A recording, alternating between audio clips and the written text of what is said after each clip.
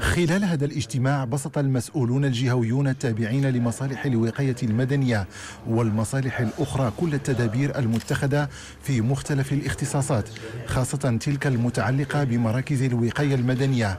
مبرزين أنه تم استخدام عدة معدات تحسبا لأي طارئ.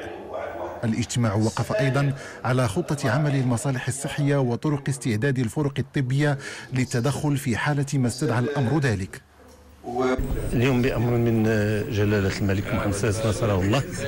آه، جاء الوفد آه، الاجتماع ب آه، المنتخبين ديال الإقليم وبالسلطات الإدارية والمصالح الأمنية كذلك للاطلاع لإبلاغهم اولا. آه، عطف ورضا صاحب الجلالة على الساكنة ديال المنطقة وكذلك الاهتمام الدائم آه، لجلالة الملك بهذه آه، المنطقة وحرصه على تنميتها. الوفد جاء باش يطمئن ويشوف الوضع عن كتب آه، شنو هي الإجراءات التي اتخذت؟ والحمد لله أنه اتضح من خلال آه، آه، الاتصال بالمسؤولين وكذلك هذا الاجتماع الذي تم عقده أنه الأمور اتخذت بجدية من طرف الجميع اتخذت إجراءات سواء إجراءات استباقية على على مستوى جميع المصالح من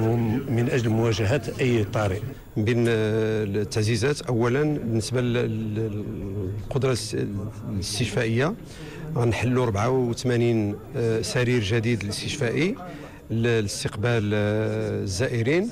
كذلك تم التعزيز بخمسة ديال سيارات الإسعاف من نوع ألف يعني اللي هي آه، عباره على خلايا الإنعاش. وكذلك التعزيز بواحد اللائحة كبيرة ديال الأدوية والمستلزمات الطبية اللي غيتم دعم المستشفى بها.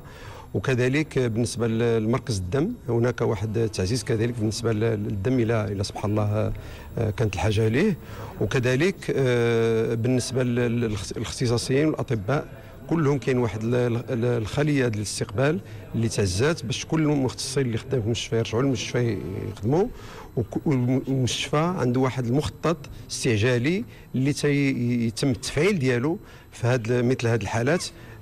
في المستشفى وعلى صعيد الجهة وكذلك في الرباط هناك خلية ديال اللي تم التفعيل ديالها لمواكبه هاد لا قدر الله هاد الوضعية إلا كان شي شي هزة كذلك.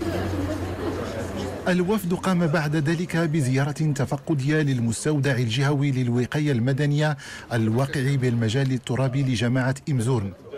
حيث اطلع هناك على التجهيزات المتعلقة بالإسعافات الأولية وكل الآليات والتجهيزات اللوجستيكية الخاصة بالبحث عن الناجين تحت الأنقاض وكذا الخيام المخصصة لاستقبال المنكوبين.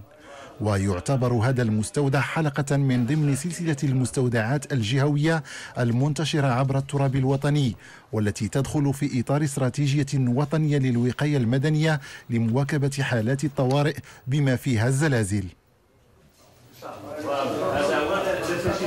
الوقاية المدنية قامت بإنشاء مجموعة من المراكز من أجل من التغطية ديالها بشكل عقلاني وتاتي في مقدمة المركز المركز الذي هو موجود في مدينة الحسيمه ومركز اللي كاين في كتامة ومركز في بشوية ترقيس ومركز في بني ورياغل آه، الروادي وبلدية امزورن فبالنسبة لبلدية امزورن هناك وحده متنقلة اللي كما اللي حنا متواجدين فيها الآن اللي كتضم مجموعة من العتاد اللي تنقوموا ب اللي تنفعنا في عمليات ديال التنقيب والبحث عن المركوبين.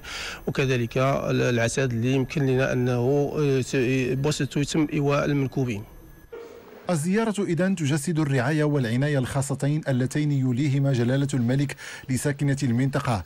إذ تأتي في سياق تنفيذ تعليمات المولوية السامية للوقوف عن قرب على حقيقة الوضع ومواكبة المتضررين من الهزات التي حصلت بالمنطقة وكذا النظر في الحاجية المستعجلة لرعاية صاحب الجلالة. حفظه الله.